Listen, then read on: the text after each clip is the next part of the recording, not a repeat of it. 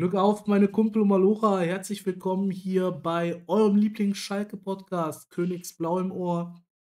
Und heutige Themen sind äh, ganz kurz aufs letzte Spiel schauen. Wir sind ja jetzt auch schon in der Woche etwas weiter.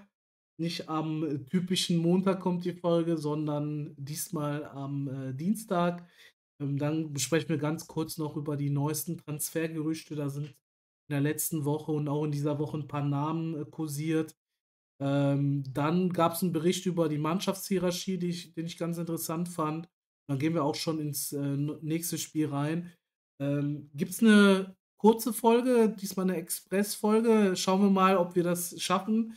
Ähm, das ist immer die wichtigste Frage bei uns, ja. Ja, denn wir beide waren zu Gast beim äh, Der Schalker, beim Francesco und ähm, ja, nehmen jetzt quasi nach dem Live von Francesco hier diese Folge auf. Wenn euch da, sag mal, gerade auch zum letzten Spiel unsere Meinung dann nochmal im Detail interessiert, schaut da gerne bei ihm auf dem YouTube-Kanal vorbei.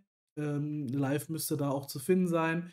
Verlinke ich hier auch unter dieser Folge. Ja, und dann grüße ich wie immer unseren S04-Experte Luca. Wie geht's dir, mein Bester? Ja, Glück auf. Mir geht's super. Ähm, das Spiel war ja so ein kleines Auf und Ab, aber, äh, abgesehen davon ist eigentlich alles super. Habe jetzt auch, ähm, morgen endlich mal wieder ein schönes Ereignis. Mein Opa hat Geburtstag. Ähm, wird dann wahrscheinlich auch wieder ein schönes Familienessen geben. Und ja, deswegen mir geht's super soweit.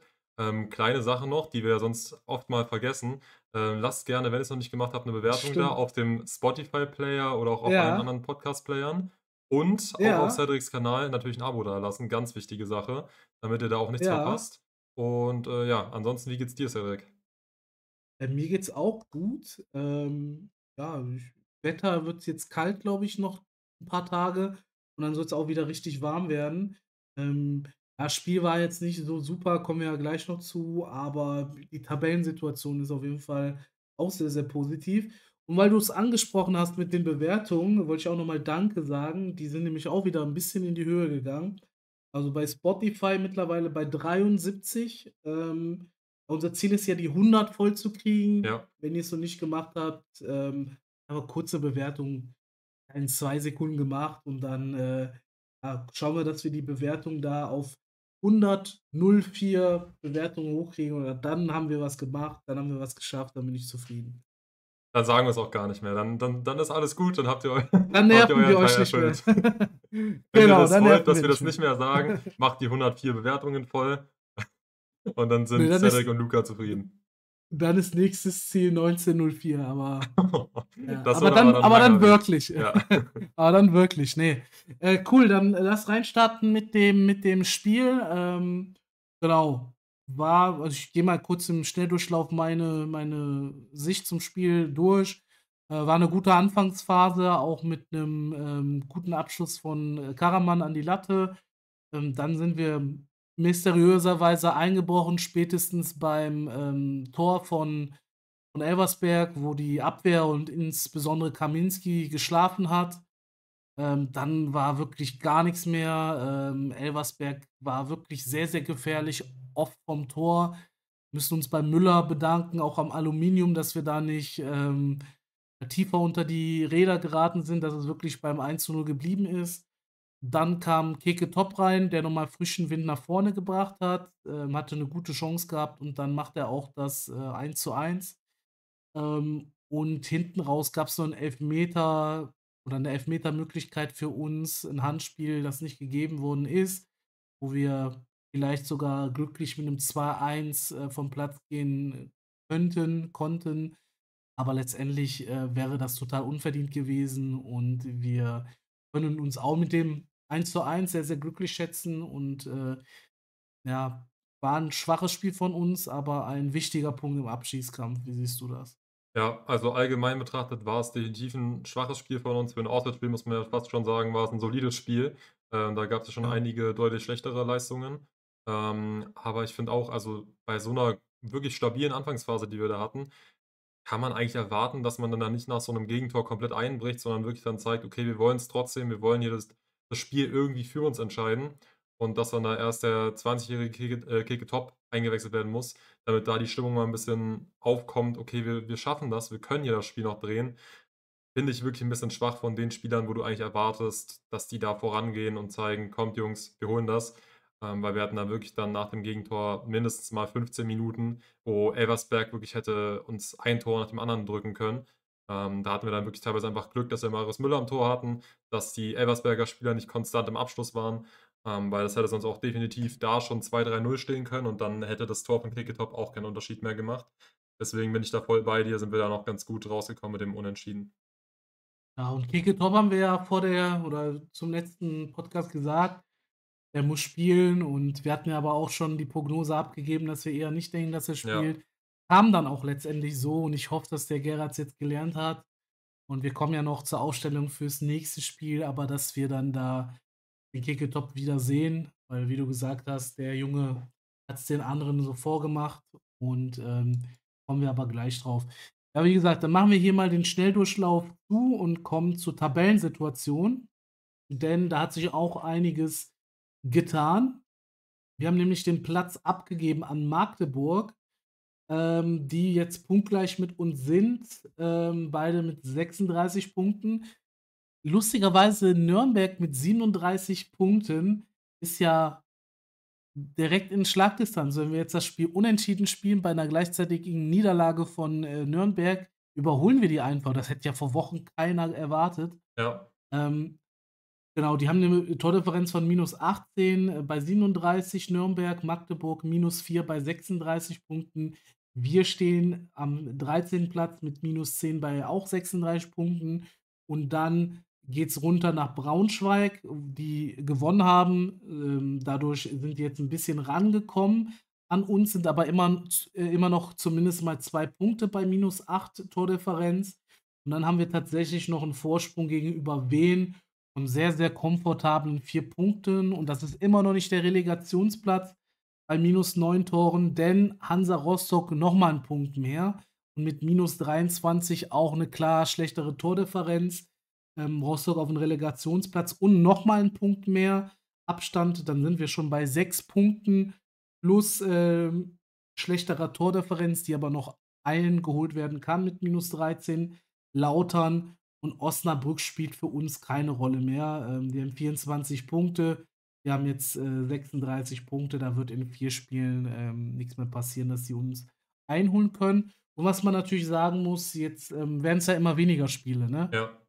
Wenn die Situation so bleibt und, ähm, vielleicht auch nächsten Spieltag so bleibt, ähm, sind's ja nur noch 9 Punkte, die vergeben werden, ne? Da kann man halt so 'n Vorsprung auch sehr, sehr schwierig aufholen. Grade wenn auch sehr, sehr viele Mannschaften hinter dir sind, ist das echt 'ne gute Position. Und ja, wie ist wie ist deine Einschätzung so zur Tabelle? Ja, also die Ausgangslage ist wirklich sehr, sehr ordentlich für uns, muss man wirklich mal sagen. Also, wir stehen mit 36 Punkten da.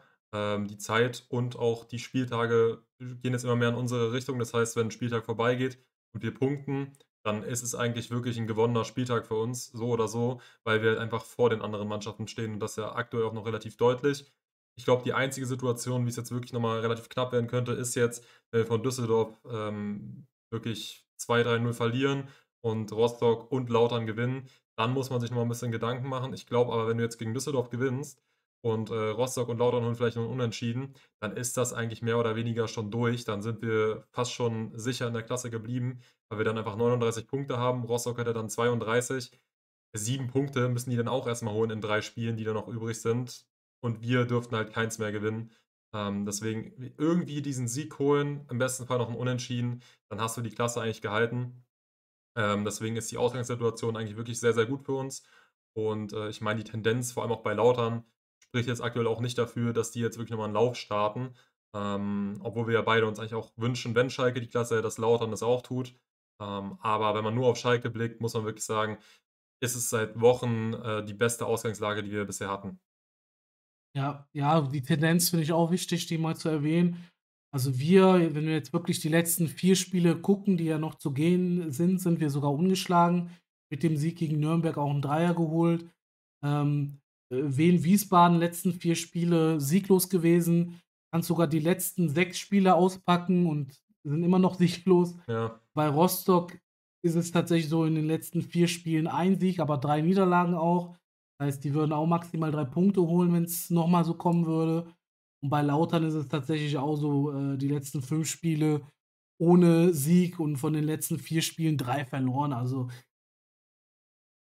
also wenn selbst wenn die da 'n bisschen besser punkten würden, dann wird's immer noch nicht reichen, um den Vorsprung, den wir da, ähm, geschaffen haben, aufzuholen. Und wir haben ja diese bessere Tendenz von, äh von, äh, äh, ungeschlagenen Spielen. Das heißt, wir werden auch zumindest mal punkten oder vielleicht sogar hier und da mal 'n Dreier holen. Das das wird schwierig, da für die Konkurrenz aufzuholen, wenn die Tendenz so bleibt. Ja. Okay, dann lass uns zum nächsten Thema kommen. Und, ähm, ja, wir sind bei 10 Minuten, also ist wirklich Es läuft gut bisher. Mal schauen, äh, wie schnell wir die äh, den Podcast hinkriegen diesmal.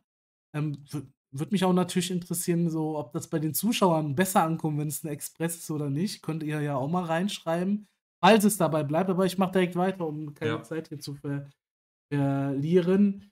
Ähm, und das sind die Transfers, die jetzt so 'n bisschen im Raum stehen. Wir hatten in der letzten Folge Donkor so 'n bisschen mit reingenommen, ähm, der da als ablösefreier Spieler gehandelt ist. Sehr, sehr schneller Spieler, ähm, der vom Konkurrenten Braunschweig kommt, eher für 'ne Fünferkette. Ähm, dann haben wir hier 'n weiteren Namen, das ist Marc Gevorgyan. Ähm, soll wohl aus der 2. Liga in Österreich zu uns wechseln, ablösefrei, äh, auslaufender Vertrag, 18 Jahre jung nur, Talent. Ähm, ich meine, mit Greimel hatten wir jetzt nicht die besten Erfahrungen gemacht, lag aber, glaube ich, nicht so am Spieler, sondern eher daran, dass er, ja, sehr, sehr viel verletzt gewesen ist. Ähm, dann haben wir einen Thibaut Verlinden, ähm, auch aus Belgiens 2. Liga. Ähm, der hat aber sehr, sehr gute äh, Stats, nämlich in 28 Spielen 5 Tore und 10 Vorlagen. Das ist nicht so schlecht, ähm, spielt links außen, ähm, hat auch sehr, sehr viele Nationalmannschaften in Belgien durchgenommen, soll wohl etwas unter 'ner Million kosten. Und dann haben wir noch 'n Spieler und der in der 1. belgischen Liga, das ist William Balikwisha. Ähm, der ist 24 Jahre alt, spielt im offensiven Mittelfeld, hat jetzt bei Standard Lüttich zuletzt nicht so viel gespielt. Muss aber auch dazu sagen, Standard Lüttich ja 'ne Mannschaft, die auch, ähm, international mit dabei ist, ähm, schon eine der besten Mannschaften in Belgien. Und ihm wird nachgesagt, dass er 'n super Spieler ist, aber das nicht immer zeigen kann, da fehlt die Konstanz. Und ja, ähm, würde mich mal interessieren, inwieweit, ähm, da was dran ist, inwieweit du glaubst, dass die Spieler kommen könnten und was so die Namen für dich so aussagen. Muss ja nicht jeder kommen, aber was diese diese Namen einfach so geben, so wenn du die vergleichst mit den Spielern, die wir zuletzt oder in der letzten Transferperiode geholt haben. Also, wenn ich 24 Jahre in Belgien lese, denke ich irgendwie immer noch so 'n bisschen zurück an, äh, die Aufstiegssaison, wo wir dann Wouters geholt haben, als er 24 war und Belgier. Ja. Ähm, aber ja, wenn man nur darauf guckt, was das für Namen sind, Nationalität natürlich auch, in welchen Ligen die spielen, ähm, dann merkst du schon, dass, ähm, Wilmots auf jeden Fall der Sportdirektor ist und, äh, da auch seine Ideen aktuell einbringt, ähm, weil's halt einfach wirklich hauptsächlich belgische Ligen sind, ähm, in denen wir grade scouten. Und was ich daran wirklich interessant finde, ist halt, ähm, was passiert, wenn jetzt Manga kommen sollte. Wenn wir jetzt zum Beispiel im Mhm. nächsten Spiel gegen Düsseldorf gewinnen sollten und den, ähm, Klassenerhalt mehr oder weniger klarmachen und der dann vielleicht wirklich schon unterschreibt, inwieweit dann diese Namen noch relevant wären, wenn sie bis dahin eben nicht wirklich weiter fortgeschritten sind. Weil ich denke, Manga wird noch mal eigene Ideen haben und ich hoffe auch, dass, ähm, wenn Wilmots diese Spieler jetzt wirklich unbedingt haben will, dass es dann abgesprochen wäre, wenn er sie kauft, ähm, mit Manga, weil man da natürlich auch leicht ihn verärgern könnte, dass da jetzt die Arbeit schon gemacht wäre und dann gar kein Budget mehr da ist für das, was Manga vorhat. Da muss man, glaube ich, so 'n bisschen aufpassen, dass man da 'n gutes Feingefühl reinbekommt. Aber grundlegend finde ich die Spieler jetzt nicht überragend, wo ich mir denke: „Oh, ich hoffe, der kommt.“ Aber die Mhm. Spielerprofile le ähm, lesen sich schon teilweise sehr interessant. Also, vor allem Verlinden ist mir zum am meisten ins Auge gestochen, weil das für 'n Flügelspieler schon wirklich sehr starke Statistiken sind. Ähm, 15 Scorer in 28 Spielen. Als Flügel haben wir, ähm, aktuell Flügelspieler im Kader, die da ganz weit entfernt von sind. Also, wenn man mal an Scholinov denkt zum Beispiel, der überhaupt nicht Ja, reinfindet in die. Saison bisher leider. Ähm, auch 'n Kabadai ist ja eigentlich 'n Flügelspieler, der aber die Scorer bisher jetzt auch noch nicht überragend auf'n Platz bekommen hat. Der ist ganz okay dabei, Ähm, hat er auch seine Tore gemacht bisher. Ich glaube, müsste jetzt bei 4 oder 5 Toren stehen. Aber so 'n wirklichen Scorer, der uns wirklich mit einigen Treffern und auch mit Vorlagen versorgt, hatten wir jetzt auf den Außen äh, nicht wirklich. Und da finde ich den, ähm, Namen schon ganz spannend. Malik Wischer, wie du grad gesagt hast, ist, glaube ich, wirklich einer, der von ich glaube, der wird sehr athletisch sein, der uns da auch sehr viel geben kann, so ähnlich wie 'n Lasme vielleicht noch nicht konstant genug ist. Ähm, wenn man den da geschliffen bekommt, wo Geratz ja auch für bekannt war, ähm, dann kann da schon was gehen. Aber, ähm, ich hoffe halt wirklich, dass man da jetzt nicht zu schnell die Transfers eintüten will und da dann sich mit Manga auch bespricht und der dann auch hoffentlich überhaupt zu uns kommt. Ja, ähm, vielleicht noch ganz kurz meine Einschätzung. Ähm, ich glaube nicht, dass das so das Riesenproblem ist, zumindest hoffe ich's nicht, dass der Ben Manga noch nicht unterschrieben hat. Ich glaube, der hat schon sehr, sehr viel von seinen Leuten quasi bei uns installiert. Und ich kann mir schon vorstellen, ne, wenn der jetzt der ist ja nicht angestellt bei Watford und es es peilt sich ja total an, dass er bald bei uns unterschreiben wird. Ich kann mir schon vorstellen, dass er quasi so 'n Schattenkader grade am Erstellen ist und quasi da schon in Kontakt mit allen Verantwortlichen steht. Grade sein Jungs da, der da installiert hat und dass die quasi schon im Hintergrund das Ganze planen. Ähm, ich glaube, dass der ähm, dass die Namen auch, die da kursieren, ähm könnte ich mir auch unter Manga vorstellen. Aber auch, dass er vielleicht in Belgien gut vernetzt ist. Und ich kann mir auch vorstellen, dass der vielleicht gemeinsam mit dem Wilmots dann guckt: „Okay, ähm, welche Spieler kennt der Wilmots auch und, Mhm. ähm, lass uns da mal die Besten aus Belgien, die interessantesten aus Belgien auch so 'n bisschen nehmen“, wo er quasi dann auch seinen oder Wilmots auch seinen Stempel mit aufdrücken kann. Und, ähm, ja, Donkor finde ich grade interessant, ähm, so 'n guter Spieler für die Kaderbreite und der bringt halt diese Schnelligkeit mit, die uns komplett, ähm, abhanden geht diese Saison. Und, ähm, so jemanden einfach im Kader zu haben mit so 'nem Profil, mit so 'ner Schnelligkeit, ist unter den Top 10 schnellsten Spieler der Liga. Ähm, klar wird der da auch Punkte haben, wo der vielleicht nicht überragend ist, sonst wird er nicht bei oder sonst wird der ja nicht bei Braunschweig spielen. Ähm, und dann, ja, Verlinden, wie du gesagt hast, Menge äh, s 'ne, äh, Menge Scorer gemacht jetzt die Saison. Es war auch so 'n Spieler, der noch relativ jung ist mit 24, mit 'nem Wiederverkaufswert. Ist auch 'n Spieler, wenn du bei Transfermarkt komm äh, guckst, der hatte jetzt 'ne 'ne Entwicklung auch vom Marktwert, die nach oben geht, ne?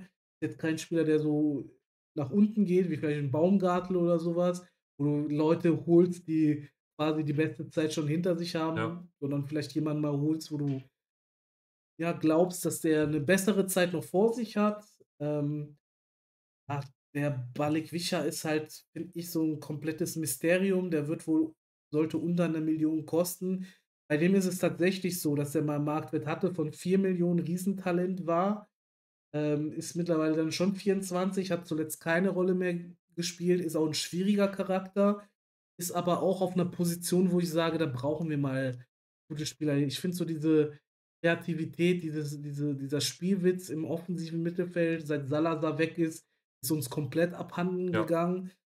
Hassan wird nach der Saison wechseln und da hast du gar keinen Spieler im Kader, der da irgendwie Akzente setzen kann. Wir haben mit Seguin und mit Schallenberg eigentlich 'ne gute ähm, äh, gute Spieler so auf der 6, 8, aber dieser Spieler, so der mit Spielwitz auf der zentralen Position spielt, haben wir halt nicht. Ähm, da muss man gucken, ob's äh, ob das der Richtige ist oder ob's nicht vielleicht dann zu viel Risiko ist. Aber wenn das aufgeht und du vielleicht wieder so 'n Spieler kriegst, der dann irgendwie auf 4.000.000 Marktwert irgendwann kommen könnte, dann ist das aber auch, ähm, ein eine gute Möglichkeit, da auch mal ins Risiko zu gehen. Wenn wir mal so so 'n Marktwert so im Vergleich gucken, so von der aktuellen Mannschaft, ja, außer Ouedraogo hat da kein Spieler nennen nennenswerten Marktwert in der Region. Ähm, und das ist ja auch so 'n Marktwert, für den Bülter zum Beispiel gewechselt ist, der, ähm, in der 2. Liga der einer der besten Spieler gewesen wäre, wenn er Ja. geblieben wäre. Salazar Von genauso. daher genau, Salazar auch. Von daher müsste muss man das mal abwarten. Ähm, bin da aber erst mal, wenn ich so die Namen sehe, erst mal positiv gestimmt. Ja, also, ich finde auch, ähm, dass wenn du die Spielerprofile dir einfach anguckst, dass du auch einfach diese Vorstellung haben kannst, dass es da vielleicht noch nach oben geht.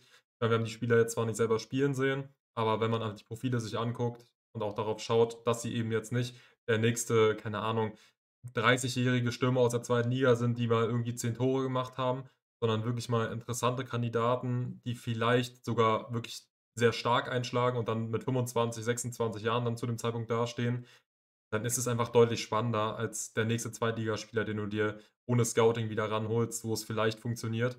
Dann gehst du lieber mal ein bisschen ins Risiko, holst dir mal einen Spieler, der in 'ner anderen Liga ganz gute Leistungen zeigt, Talent hat und dann kannst du da halt deutlich mehr von profitieren am Ende des Tages. Äh, hier grad frisch reingekommen ist, ähm, Leo Ciencia, ähm, hat wohl 'ne Ausstiegsklausel von 500.000, ähm, könnte da zu uns wechseln, hat schon Interesse aus der 1. und 2. Liga. Ähm, das wäre auch 'n Mann für für zentral fürs offensive Mittelfeld mit 'ner Menge Spielwitz. Und das sind auch so Spieler, die nicht die Chance bei uns bekommen haben, damals richtig stark in der U23 gewesen und, äh, ja, wo man vielleicht jetzt den doch mal lieber zurückholen sollte, bevor der wieder im nächsten Klub dann voll durchstartet in der 2. Liga. Ja, also Heidenheim soll ja auch an ihm dran sein. Ähm, wenn er zu Heidenheim geht Heidenheim hält die Klasse.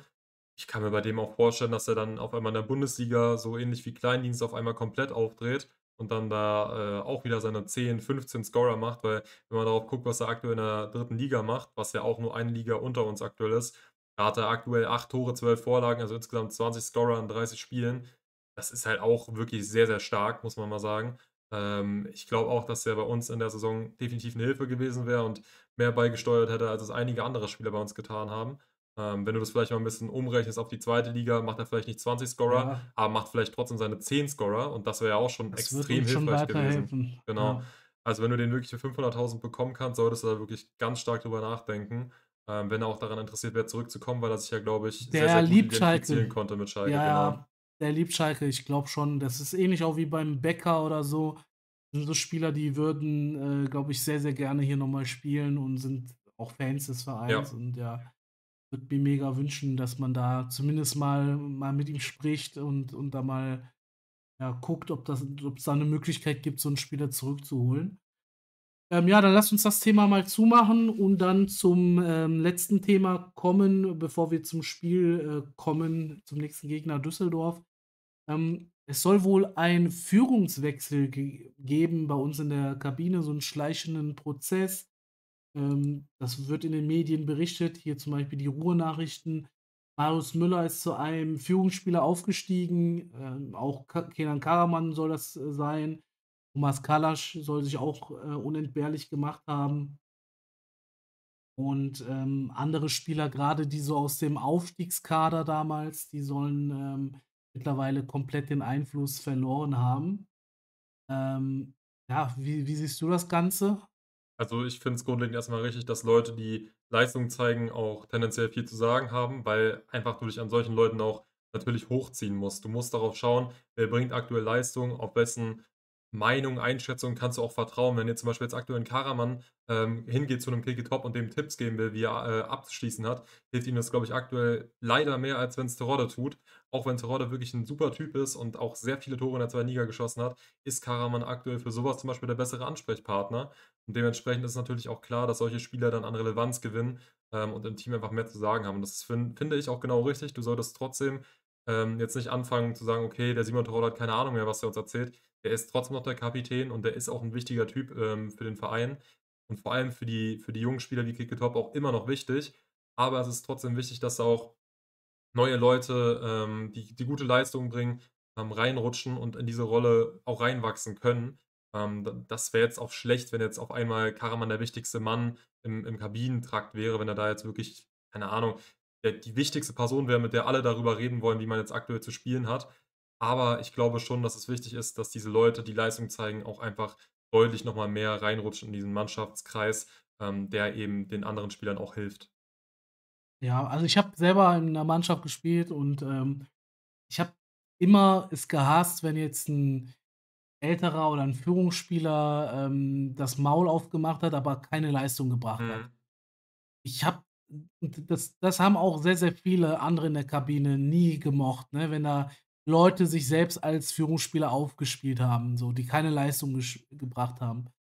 Ähm, du musst als Führungsspieler auch Leistung auf 'n Platz bringen, sonst bist du kein Führungsspieler.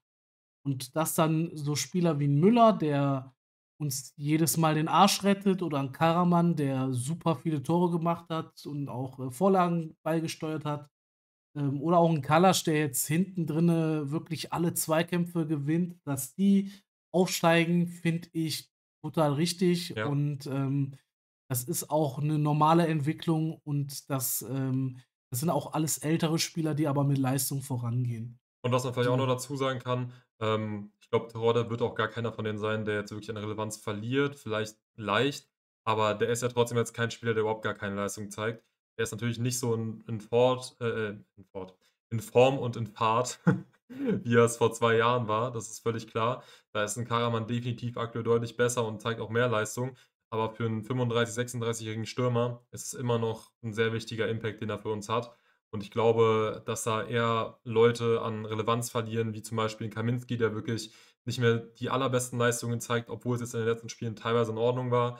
Ähm, dass auch 'n Sholdinov nicht mehr so viel sagen haben wird, auch wenn er grade erst wieder frisch dazugekommen ist. War ja, glaube ich, eingeplant als einer derjenigen, der vielleicht auch mal 'n bisschen vorangeht, weil er Schalke ja auch sehr doll im Herzen trägt, dafür extra zurückgekommen ist. Ähm, ich glaube, solche Spieler werden da 'n bisschen mehr an Relevanz verlieren, als jetzt zum Beispiel Terodde tut. Ich glaube, der wird da trotzdem, ähm, immer noch sehr im Fokus sein, aber eben auch 'n bisschen an Relevanz verlieren, dadurch, dass eben Neue dazurücken und nicht mehr ganz so im Rampenlicht stehen, denke ich. Ja, wichtig ist für mich auch immer, ähm, wie geht der Spieler mit seiner neuen Rolle um, ne? Ja. Wenn man jetzt sagt: „Okay, Terodde, du bist jetzt vielleicht eher mal 'n Backup.“ Der ist ja jetzt grade Kapitän, aber, ähm, vielleicht ist jetzt grade 'n Keke top 'n Karaman im Sturm wertvoller und wenn der Aslan wiederkommt, willst du den vielleicht mal auf die 10 packen, dass man dann dass er das dann quasi akzeptiert: „Okay, da sind grad 'n paar Spieler, die die sind grade besser in Form, besser drauf.“ Und, ähm, da muss man auch für die Mannschaft dann sagen: „Okay, dann bringe ich meine Leistung so als Joker“, ne? Auch Thomas Müller, der vielleicht in der Nationalmannschaft jetzt nicht mehr Stamm spielt, aber 'ne Riesenkarriere hingelegt hat, vielleicht jetzt auch langsam bei Bayern nicht mehr Stamm spielt. Ähm, der akzeptiert ja auch seine Rolle, wenn er mal von der Bank kommt so, ne? Und solche Leute brauchst du halt, Klar. ähm, wenn wenn die älter sind, wenn die Führungsspieler gewesen sind und 'ne mal gute Karriere haben und du brauchst aber nicht so Spieler, die quasi den ähm, den Weg zumachen, nach oben zu gehen, indem die, ähm, quasi, ja, politisch irgendwie die jungen Spieler unten halten. Da gab's ja auch mal so 'n scheinbares Gerücht, äh, wa was am Laufen ist von unserem Maulwurf, dass der Seguin sich für die jungen Spieler eingesetzt hätte in dieser Mannschaftssitzung. Und wenn du da Leute aus der Aufstiegsmannschaft dabei hast, die, ähm, sich auch ständig in die Startelf irgendwie reinreden wollen, aber mit Leistung nicht vorangehen, ja, dann passt das nicht. Und, äh, ich hoffe, dass die Leute, die nicht ihrer Rolle bewusst sind, ähm, wenn die nicht mit Leistung vorangehen, ähm, wenn die nicht sagen können: „Okay, ich gehe auf die Bank“, dann, ähm, hoffe ich, dass wir uns da im Sommer von denen trennen, weil die brauchen wir nicht. Und ich finde, wir müssen um jetzt Müller, Kalasch, Karaman, auch 'ne Mörkin und so weiter und so fort müssen wir jetzt 'ne Mannschaft bilden. Auch 'n Seguin von mir aus und auch 'n Schallenberg können da genannt werden. Und die anderen vielleicht, die jetzt aus der Aufstiegsmannschaft, ähm, ja, 'ne wichtige Rolle gespielt haben, auch verdiente Spieler gewesen sind, die sollten sich dann eher mit der Backup-Rolle vergnügen, wenn die noch bei uns bleiben wollen. Oder aber sollten sich 'n neuen Verein suchen, was ja auch vollkommen okay ist.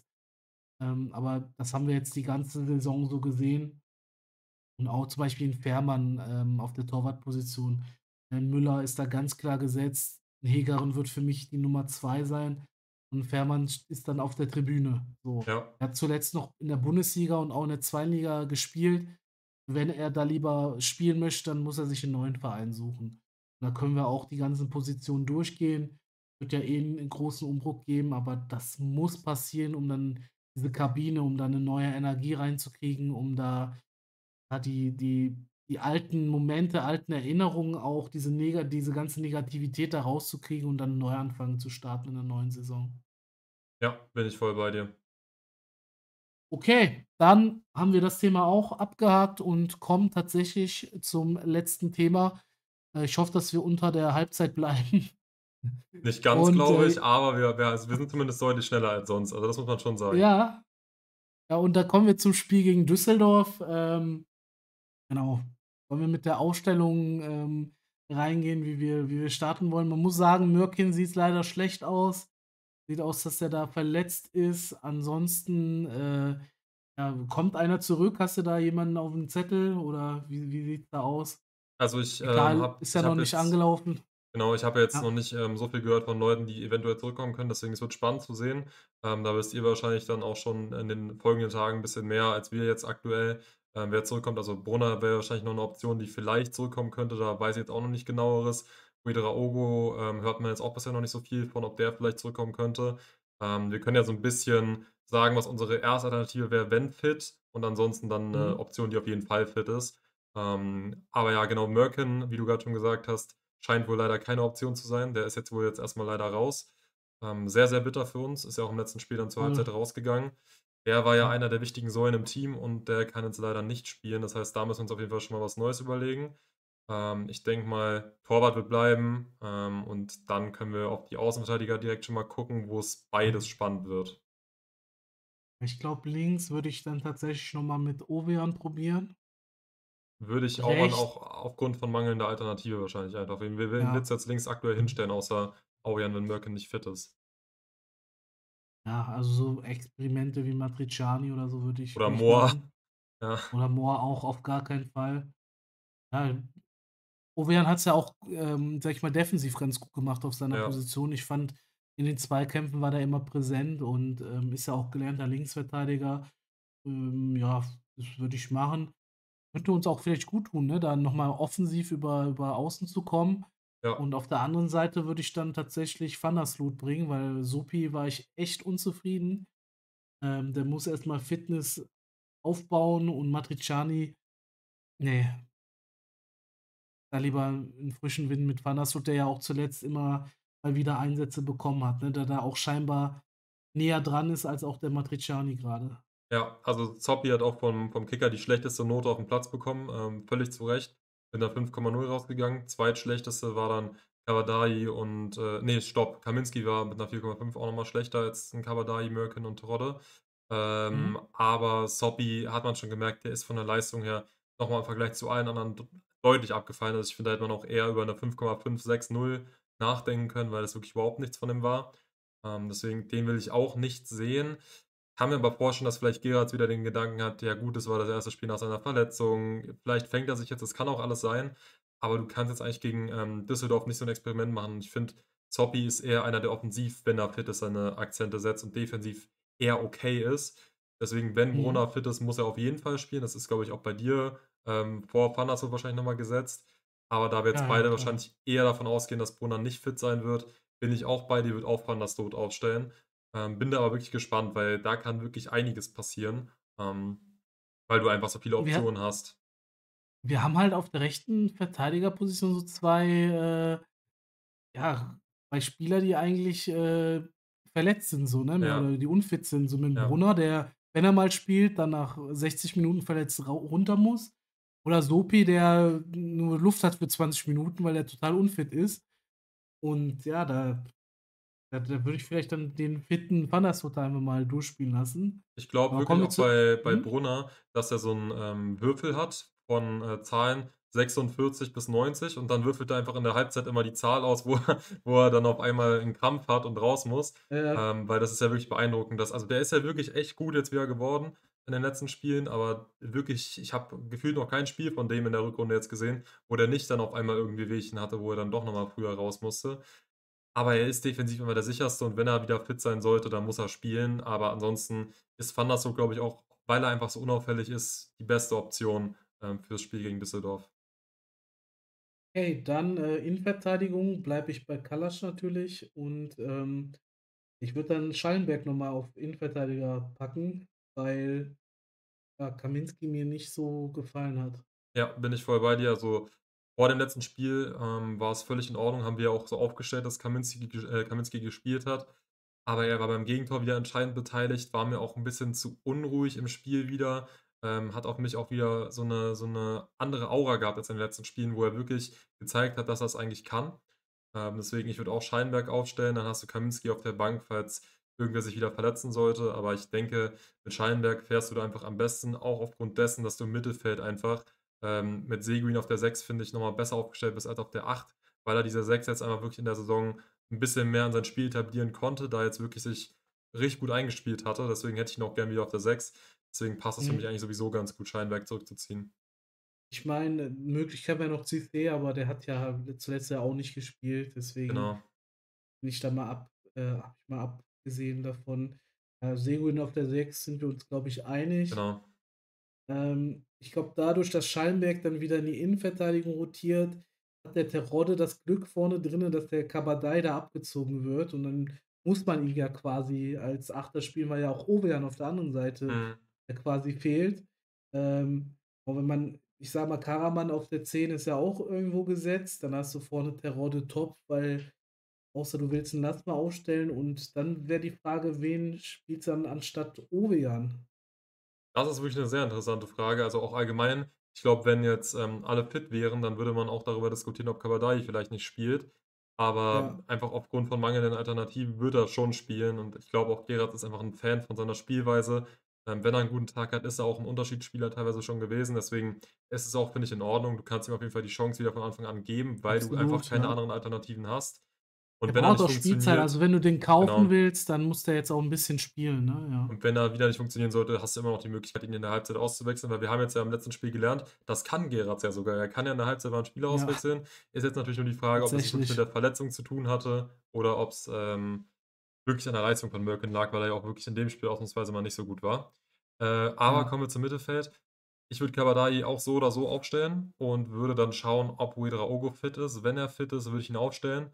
Ähm, Safe, egal, ob's jetzt ja. für 90 % Fitness oder für 100 % Fitness reicht. Mhm. Er muss spielen. Ähm, du hast auch nicht mehr so viele Spiele mit ihm, deswegen nutze es noch. Und, ähm, ja, ansonsten, wenn er nicht fit ist, wird's spannend. Also, so viele Alternativen haben wir ja gar nicht. Wir hatten jetzt im letzten Spiel Tempelmann, Idrissi und Schulinov auf äh, auf der Bank, die die Position bisher in der Saison ab und zu gespielt haben.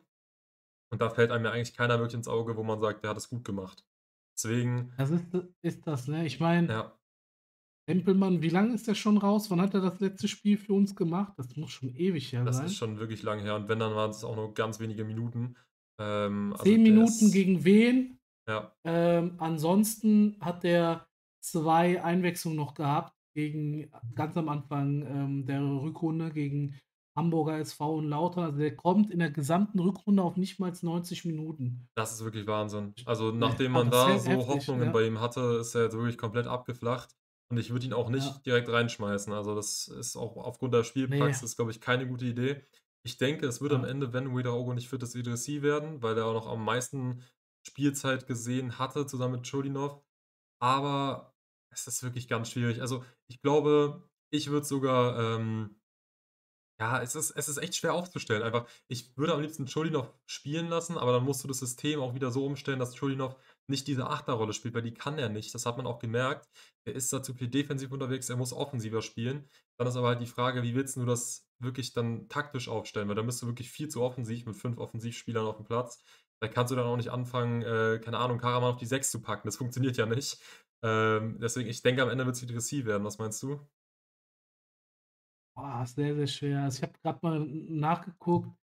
Schulinov aus den letzten 4 Spielen 23 Minuten gespielt Mhm. insgesamt und, äh, Idrissi aus den letzten 4 Spielen, äh, 19 Minuten gespielt. Ja, okay, nimmt sich nicht Also viel. ja, also, sehr, sehr wenig Spielzeit. Ähm Hoffen wir, dass Ouedraogo beide fit ist. beide auch, wo die eingewechselt wurden, auch nicht besonders stark so. Puh, ähm ich gehe tatsächlich mal mit Tempelmann noch mal rein. Keine. Ahnung. Also, ja, keine Ahnung, weil weiß es nicht. Oder Tempelmann ist eigentlich ne, La Latza Nein, nein, nein, ich mache Spaß. Also, das wäre jetzt wirklich auch Latza nicht. sehr sehr aus dem Nichts, wenn Ja. jetzt auf einmal Latza spielen würde. Wobei, ne, boah, man Aber ich überlege so, was gibt uns der Spieler? Ich denke mir, 'n Schulinov würde zu offensiv sein, der würde wenig mit nach hinten arbeiten. Mhm. Ähm, der würde wenig Kreativität reinbringen, aber vielleicht hier und da mal mit 'nem Dribbling überzeugen, ist aber zuletzt sehr, sehr unsichtbar gewesen. Was gibt dir 'n Idrissi? Der hatte in den letzten Spielen wirklich Fehlpässe nach Fehlpässe nach Fehlpässen so. Ähm, der ist defensiv jetzt auch kein Monster, aber defensiv stärker wie 'n Schulinov. Ähm, ja, und ist grade auch nicht in Form, würde ich sagen, so. Wenn wenn er 'n guten Tag hat, kann er aber 'n 'n guten Pass spielen und vielleicht da den Top irgendwie einsetzen oder 'n, ähm, Terodde. Und ein, ähm, Tempelmann gibt ja eigentlich den perfekten Box-to-Box-Spieler, wenn er fit ist so und wenn er in top in Form ist so. Mhm. Nur Idee nur habe er hat noch, halt ist mir grad noch in 'n Kopf ja? gekommen. Ich weiß nicht, ob's die beste Idee ist, aber es ist zumindest was, über das man reden kann. Ja. Ähm, einfach vielleicht Zoppy nach vorne ziehen, wo er eh offensiv eher seine Stärken hat. Dann spielst du ihn als rechten, ähm, Box-to-Box Mittelfeld äh, Ja. Flügelachter und kannst da vielleicht seine offensiven Stärken 'n bisschen besser ausspielen, wo er defensiv nicht so viel kaputt machen kann. Wenn du Van der Sloot eh rechts hast, können die sich vielleicht auch 'n bisschen abwechseln, so ähnlich wie es Aujan und Merkin links gemacht haben. Wäre vielleicht auch 'ne Idee, über die man nachdenken könnte. Dann würdest du Kabadagi über Oder links du spielen. ziehst du ziehst aus der U23 den Amardin hoch für das Spiel. Würde auch gehen, aber ich denke nicht, dass man den jetzt einfach in so 'nem Spiel gegen Düsseldorf direkt jetzt reinwerfen wird. Ob man das machen sollte, ist auch noch mal 'ne andere Vor allen Dingen, Frage, wenn du noch Sloot auch noch quasi Genau. dann startest, ne? Ja, ich sage mal Tempelmann. Was ist dein Tipp? Ich glaube, es wird Idrissi werden, ähm, aber ich hoffe sehr, sehr stark darauf. Das ist, glaube ich, das Wichtigste für das Spiel wird sein, dass Ouedraogo, ähm, irgendwie noch fit wird, Ja. weil damit hättest du auf jeden Fall deutlich mehr Power im Mittelfeld. Erhoffst du Idrissi oder oder ist das dein Tipp? Würdest Ich du ihn auch glaube, dass er aufstellen? spielen wird. Was ich hoffe, ist auf jeden Fall Ouedraogo, aber ich kann wirklich bei den Spielern, die zur Auswahl stehen, jetzt keine Hoffnung abgeben, weil alle 3 beziehungsweise auch Zoppy wären alle Glücksfälle, wenn sie dann auf einmal doch funktionieren sollten. Ähm, am liebsten Mhm. sehen würde ich Çolinov, aber ich sehe bei ihm aktuell nicht, dass er gut Okay. spielt. Deswegen kann ich da jetzt auch nicht sagen, dass es mein meine Wunschlösung wäre. Deswegen, ich glaube, es Ne. wird Idrissi. Ich hoffe auf Ja. Ouedraogo und ansonsten ist es mir eigentlich egal. Okay, ne, dann, äh, gehen wir noch mit dem Tipp hier raus. Ähm ich habe ich tippe auf ein 2:2. Tore macht Karaman und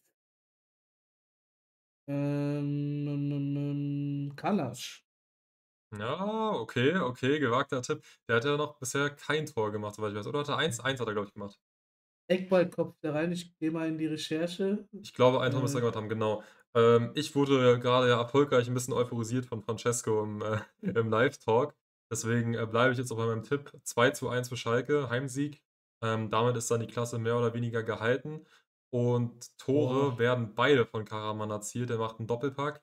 Äh, Heimspiele sind ja genau sein Gebiet und ich glaube, der macht jetzt auch mal 'n doppeltes Tor. Kalasch gegen Düsseldorf den Treffer gemacht.